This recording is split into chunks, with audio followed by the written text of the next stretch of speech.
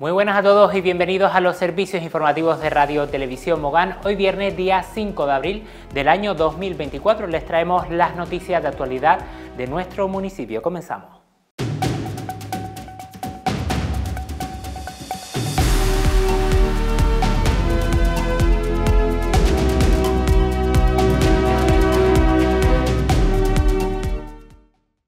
Ayuntamiento de Mogán ha renovado las aceras y también mejorado el acceso en un tramo de la avenida El Marinero de Playa de Mogán. Precisamente esta semana visitábamos las zonas para ver el resultado de las obras. El Ayuntamiento de Mogán ha concluido la rehabilitación de aceras y mejoras de la accesibilidad en 163 metros lineales de la avenida El Marinero en el barrio de Lomoquiebre. A esta actuación se han destinado en torno a 41.000 euros de fondos municipales. La alcaldesa de Mogán, Onalia Bueno, el concejal de Tráfico y Transporte, Víctor Gutiérrez, y el concejal de Obras Públicas, Ernesto Hernández, han visitado la zona para comprobar el resultado de los trabajos. Este último, Edil, ha explicado que se han renovado 163 metros lineales de bordillo y 386 metros cuadrados de pavimento, dado que se encontraban en un estado bastante deteriorado. Visitamos hoy la eh, calle Rivera del Carmen, lo que es la entrada de, Playa de Mogán, donde recientemente hemos culminado una actuación de renovación de, de aceras eh, concretamente 163 metros lineales de, bordillo, un total de 386 metros cuadrados de, piso de acera, que era lo que se encontraba en más mal estado, en un estado bastante deteriorado, y actuamos pues con cierta urgencia por, este deterioro. Eh, en un futuro pues próximo ya iremos acometiendo pues el otro margen de, este, esta calle. Es una actuación eh, de un coste de algo más de 41.000 euros financiadas con fondos municipales. Además de la propia renovación de lo que es las aceras y bordillos en sí, pues también evidentemente en esta zona eh, tiene ahora mejoras de accesibilidad. En la jornada de hoy, los usuarios del CAP han celebrado el Día Mundial de la Salud con su tradicional carrera en el anexo al centro donde acuden a diario.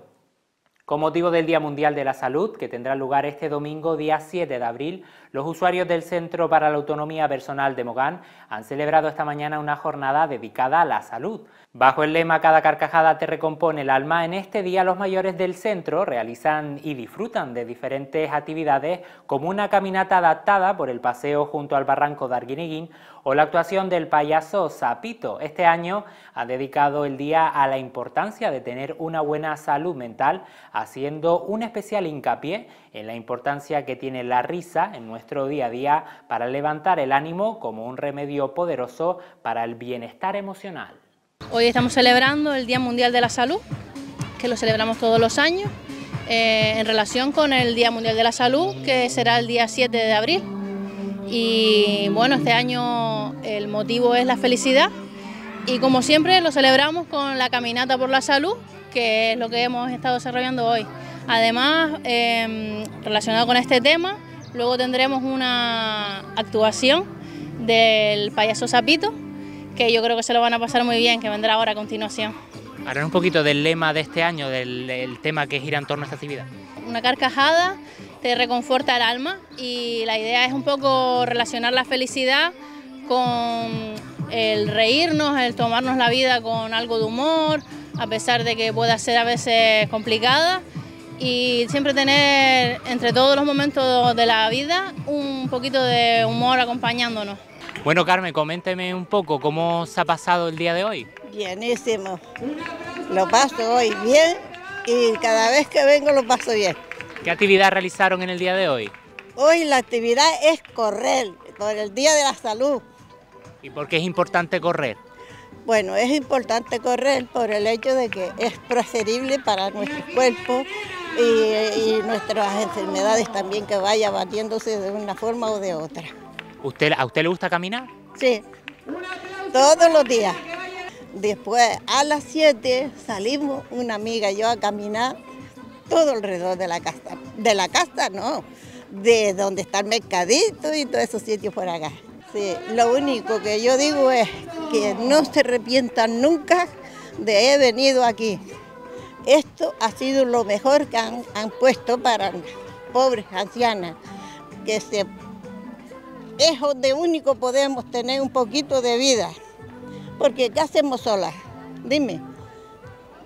No hacemos nada, solas no hacemos nada. Pues yo para mí esto es mi vida. El Ayuntamiento de Mogán entregará a los agricultores y agricultoras 100 árboles de carambola, una especie de origen asiático.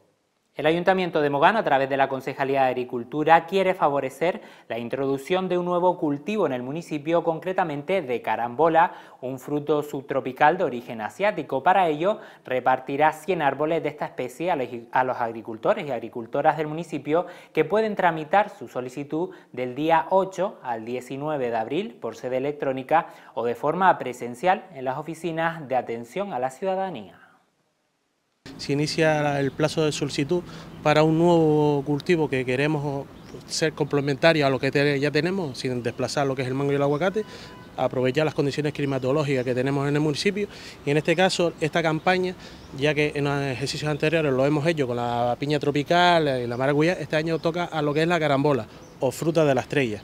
Es una fruta subtropical que es muy dulce y la forma de cortarla es una estrella de cinco puntas. Entonces intentamos eh, que los agricultores y agricultoras del municipio, aparte de seguir cultivando los principales productos del municipio como mango y aguacate, eh, queremos que sean complementarios a otro tipo de frutas. Este año la, vamos a entregar unas 100 carambolas a los agricultores y agricultoras del municipio para poderla obtener tienen que meterse en lo que es la sede electrónica del ayuntamiento o acudiendo a la oficina de atención al ciudadano, tanto en el Mogán como en Arguineguín, en las oficinas municipales.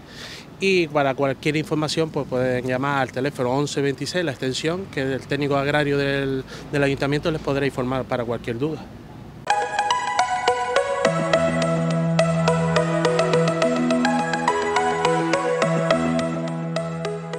Pasamos a conocer la previsión del tiempo para la jornada de mañana sábado. La situación que tenemos hoy cambiará radicalmente en la jornada de mañana. Esa calima, presencia de calima que tenemos en la jornada de hoy en Lanzarote y Fuerteventura, sobre todo, pues como venía diciendo, con esa llegada de nubosidad tenderá a cambiar mañana sábado. Presencia de nubosidad alta en estas islas, en Lanzarote y Fuerteventura, durante prácticamente todo el día, con alguna probabilidad de presencia de lluvias a últimas horas. En el resto de islas, eh, al norte de las islas de mayor relieve, tendremos nubosidad durante todo el día, con también presencia de lluvias, siendo quizás más intensas en la provincia occidental, como pueden ser en la isla de Tenerife, de La Gomera o del Hierro. En cuanto a las temperaturas, las mínimas tenderán a aumentar levemente y las máximas tenderán a descender, siendo más acusado en la isla de Tenerife. Pasando a la isla de Gran Canaria podemos ver también en el mapa esa presencia de nubosidad, sobre todo en zonas de interior, unas nubes altas que nos vendrán acompañando durante todo el día. También habrá probabilidad a partir del mediodía de registrar algunos chubascos en zonas de interior y también al norte de la isla. El viento será de componente noreste en la jornada de mañana, girando a componente norte con la llegada de la tarde. Y en cuanto a las temperaturas, también por lo general tenderán a descender.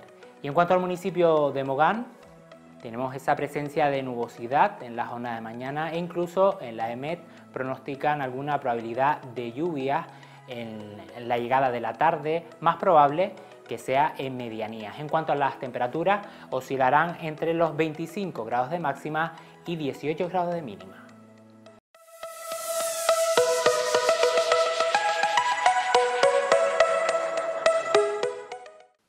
Y hasta aquí en los servicios informativos de Radio Televisión Mogán. Recordarles que nos pueden seguir a través de nuestras redes sociales. Nosotros volvemos el lunes con más información.